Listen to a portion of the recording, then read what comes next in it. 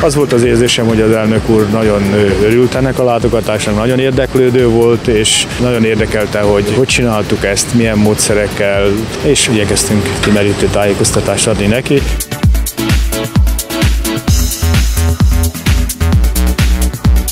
Hát amit először is láttam, nagyon impozáns.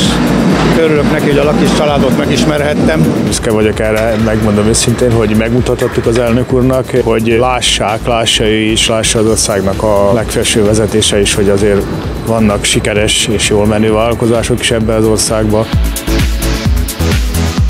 Azt gondolom, hogy hatalmas utat tettünk meg ebben az elmúlt 25-26 évben, és legalább a következő 25-26 évre megvannak a terveink, mik azok a fejlesztések, mik azok az elképzelések, és milyen sorrendben szeretnénk ezeket megvalósítani. Bár sok ilyen lenne Magyarországon, de minden esetre, hogy egy van, vagy legalábbis néhány, ez mutatja, hogy igenis lehet. Ahol akarat van, ott út is van.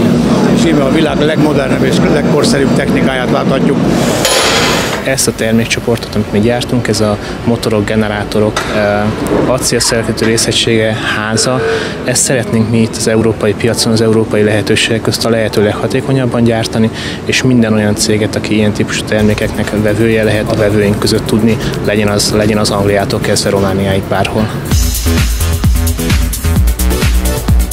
Én úgy gondolom, hogy nekünk is és az elnök úrnak is egy nagyon jó ízű találkozás volt ez. Lehet, hogy a kaposváriak büszkék, de azt kell mondanom, én Budapestről is büszke vagyok, hogy ezt magyar emberek csinálják, és ilyen színvonalon.